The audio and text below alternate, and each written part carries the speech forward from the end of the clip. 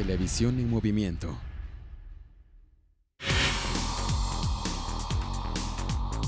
Bien, y este es parte del escenario que tiene el Hospital General Aurelio.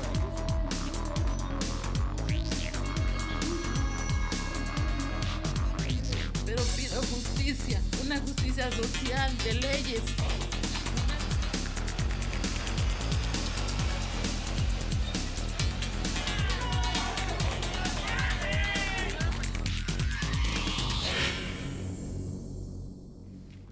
Auditorio, les saludo con muchísimo gusto en este día miércoles 4 de noviembre.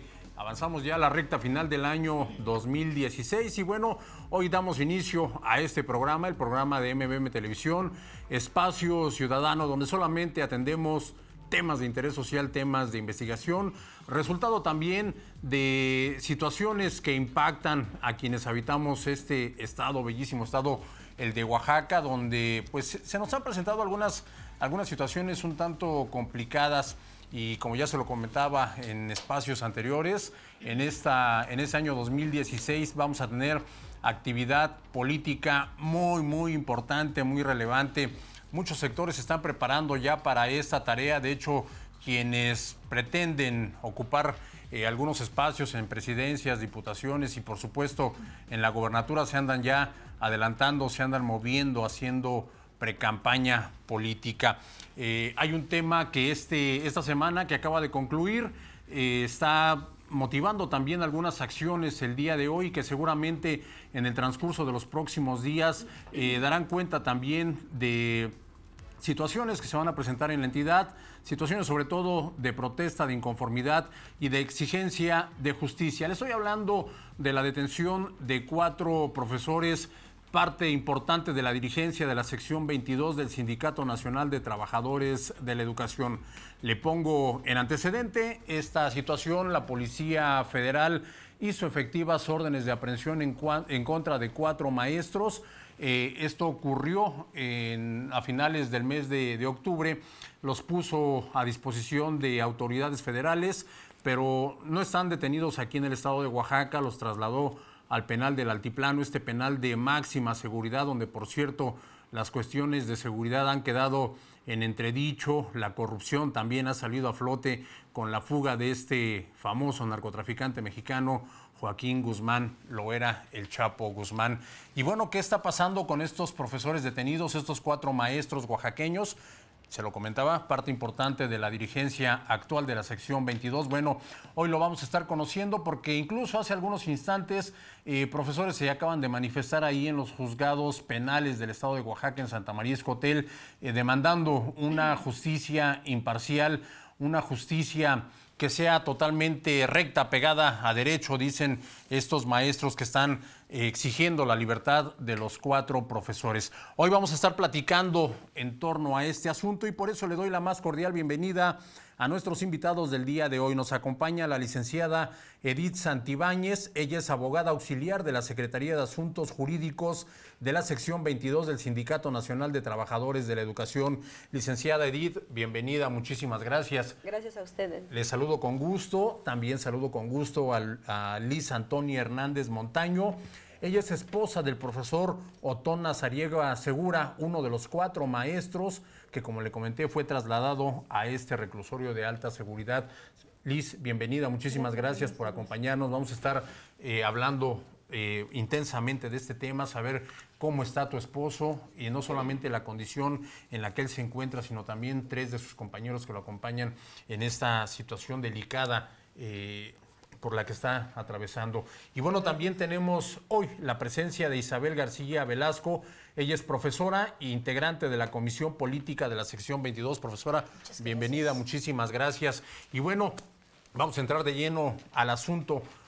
A finales de octubre eh, nos sorprendimos todos porque ni bien eh, había salido la luz del día cuando ya en las redes sociales se empieza a manejar de forma intensa, detiene la Policía Federal a cuatro profesores. Se dudaba en un momento si era real o era ficticia esta información, por qué se estaba difundiendo a través de las redes sociales. Eh, llega la mañana, la sección 22 cita conferencia de prensa y confirma la captura de estos cuatro maestros, eh, los cuatro profesores eh, cuyos nombres le voy a dar a continuación. Otona Zariega, Roberto Jiménez, Efraín Picasso y Juan Orozco. Em, si no mal recuerdo, el dirigente de la sección 22, Rubén Núñez, pues con mucha preocupación da a conocer esta noticia, la confirma y también informa que estos cuatro maestros van directo al penal del altiplano. Sí, así es, este, licenciado, agradecemos el espacio.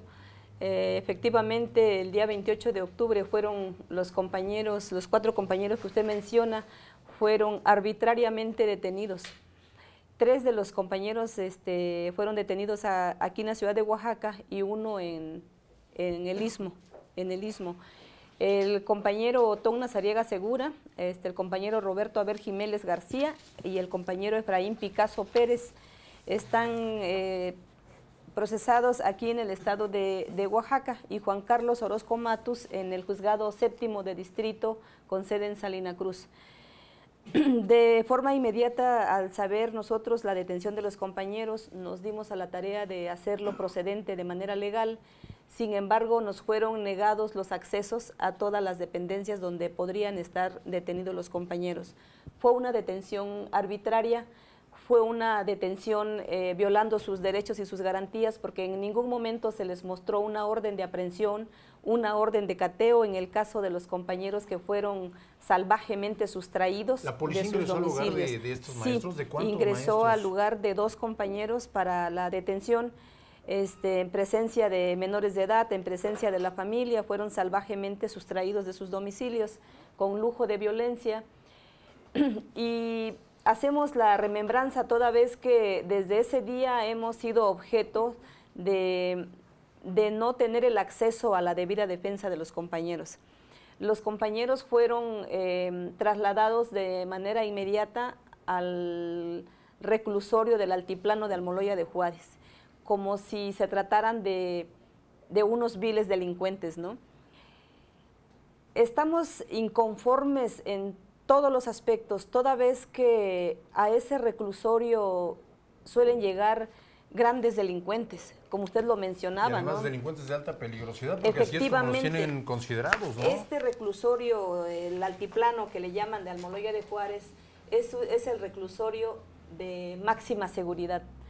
Entonces es una humillación para el magisterio, es una humillación para los niños, es una humillación para la sociedad y para el pueblo de Oaxaca el que hayan enviado el gobierno federal y el gobierno estatal, a ellos responsabilizamos de manera directa a los compañeros este, que hayan sido trasladados de esa y de la manera que fueron trasladados como viles delincuentes. Qué barbaridad. Los compañeros son profesores, los compañeros su único error es ser luchadores sociales, es convocar a las bases, es manifestarse, es defender los derechos de los trabajadores de la educación, defender los derechos de los, de los alumnos, de los niños, de los pueblos.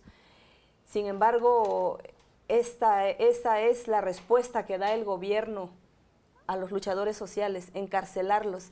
De manera arbitraria fueron este, trasladados, no los permitían este, ingresar a visitarlos hasta el día domingo que entraron nada más dos familiares a visitar a, los, a los detenidos, pero definitivamente a los abogados no les han permitido el acceso. Pero ah, ese es un derecho que tienen Por supuesto que tenemos el derecho y lo dice la Carta Magna.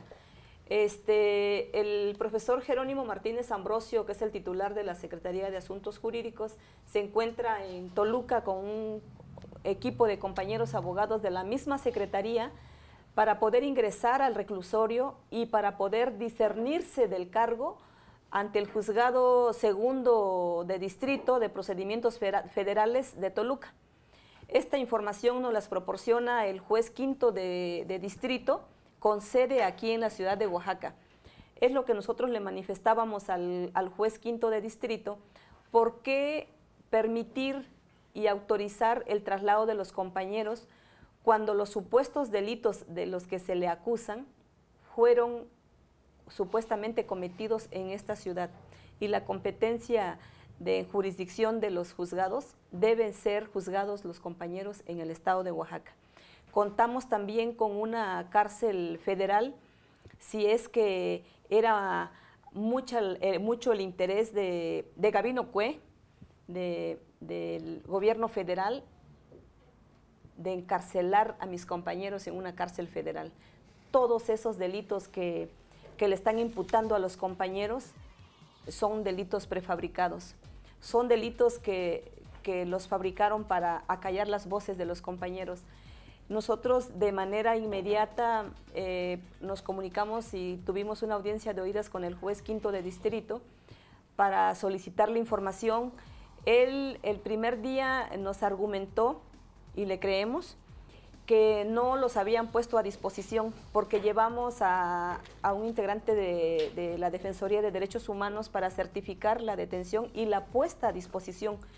Cuando un juez eh, obsequia o proporciona una orden de, de, aprehensión hacia una persona que se le indicia de algún proceso penal o federal, lo que sea, la autoridad que está encargada de ejecutar la orden, la policía, dígase federal o dígase estatal, tienen la obligación inmediata de poner a disposición a los, a los detenidos de la autoridad que lo requiere. De la autoridad que lo requiere.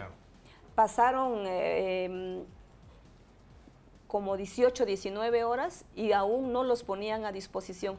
A exigencia del equipo jurídico ante el juez quinto de lo penal, fue que él tuvo que hacer incluso llamadas al delegado de la PGR y solicitar información inmediata para ver por qué no se los ponían a disposición. Permítame, vamos a hacer una pequeña pausa. Eh, licenciada, invitadas, hacemos una pausa. Auditorio, les recuerdo, estamos transmitiendo a través del canal 152 de cable. Nos puede usted ver directamente en internet, la dirección www.mbmtelevisión.com. Vamos y regresamos.